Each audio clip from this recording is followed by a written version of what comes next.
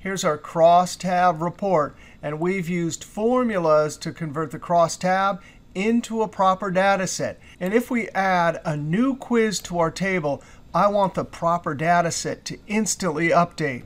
Add a new record to the bottom, and bam, the formula solution updates.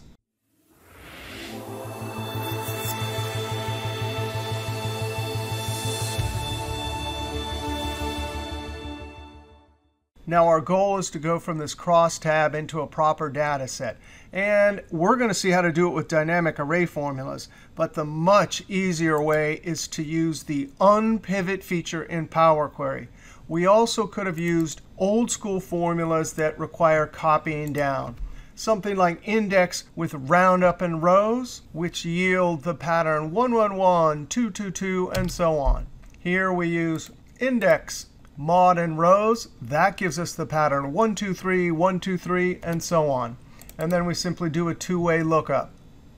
But let's go over and see how to do it with dynamic arrays. Now, the first column we're going to create from this crosstab report is we want to take the columns quiz 1, 2, and 3 and put them into a single column. Now, before we do that, we want to bump into a problem. And let's just see what happens if I highlight all of these three columns of quiz values, which is what we're going to do inside of two columns.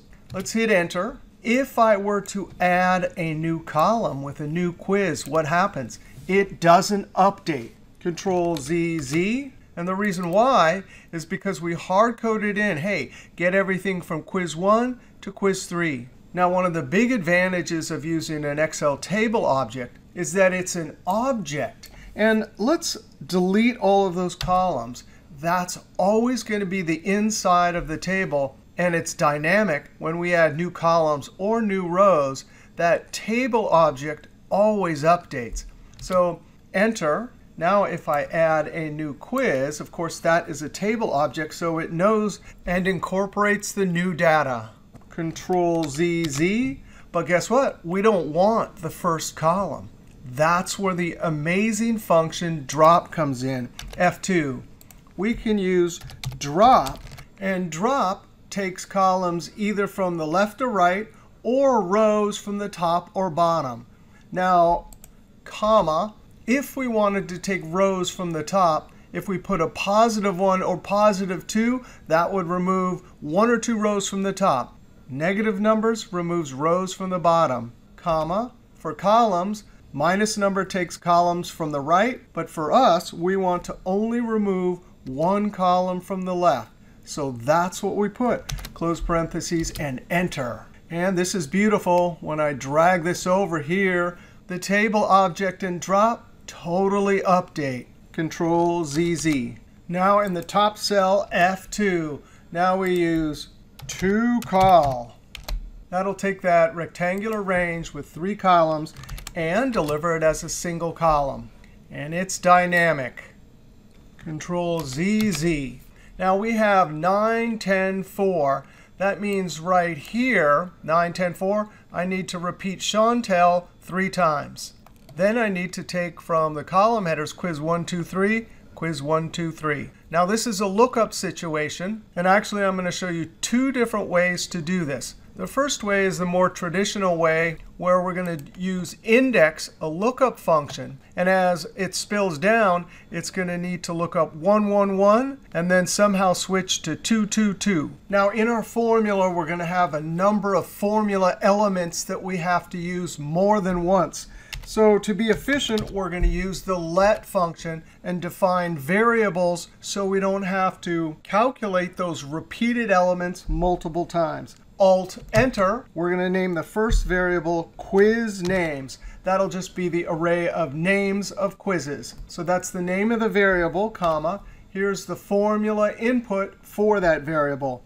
And we're going to have to use drop again on the field names, comma, comma. We're removing the left column, so 1. That's a dynamic list of quiz names in essence comma, we need student names. And for this one, we don't have to use drop because when we use a table column reference like this, it's automatically dynamic, comma, alt enter. we're going to need to count each one of those items. So this one will be quiz count. And the quiz names are across columns. So we'll use columns to count quiz names comma. And as I'm building the formula elements, I want to check using the calculation part. So I'm going to type QC temporarily. That is what let is going to deliver. Close parentheses, Control Enter. So that's correct. Quiz count of 3. Student count. And they're down the rows, so we'll use rows to count student names. And we'll see what that is delivering, a 5. That is correct, F2. So with those four variables, Alt-Enter, we can build the final part, which is our index formula.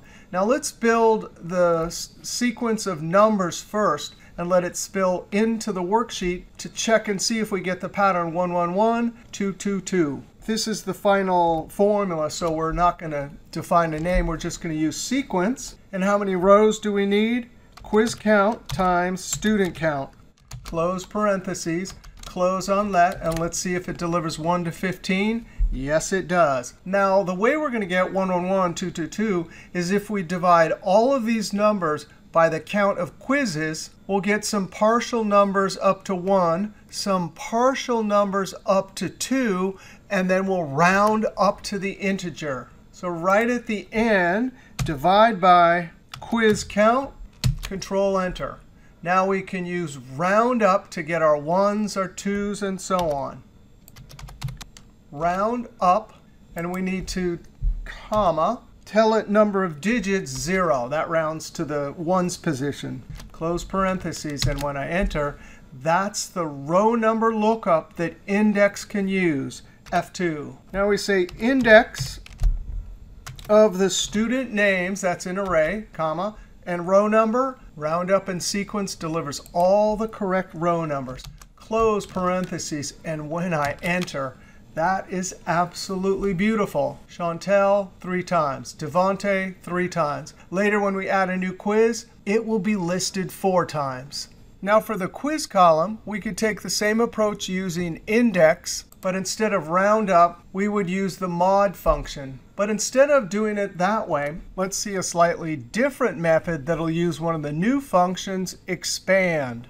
Now, the formula we're going to create here starts out exactly like this formula and has the same two initial inputs. So I'm going to copy that, and I'm going to create it off to the side so we can see how it spills. Quiz names, student names, Alt, Enter and we're going to use a great new function called expand. Now I can take an array of items and expand, in our case, downward. So what do we want? Quiz names. And I want to expand it down to a total of five rows. So we'll use rows and count student names. That'll give a count of five. But when we enter this, it's going to give us something not quite what we want, but it will expand. Control Enter. And here we want to simply fill down. I want all quiz 1s, quiz 2s, quiz 3s. And the way we're going to do that is in front of expand, we say if NA. And so expand is in value, comma, value if NA, quiz names. Now when I close parentheses, it's going to fill down. Now we can use the toCol function, and quiz 1, 2, 3 will be listed. Then quiz 1, 2, 3 will be listed next which is exactly what we need. F2, TOCOL. And the default is to take each row and then list it in a column, which is exactly what we want here. Close parentheses. And there we have our third column. Now, of course, this is a spilled array, so I only need to move the top cell. And there it is. We used TOCOL and drop to grab the intersecting values. Let drop index, round, sequence, and a bunch of other functions to get our student names. And then drop and the new expand with an if NA and two columns. All right, now we're going to test this. If I add a new column, does it update? How about if I add a new row? And this is you, and you got a perfect score every time of 10. And sure enough, Chantel is listed four times with the correct scores. And you also are listed now at the bottom, sorted correctly. with your perfect four tens.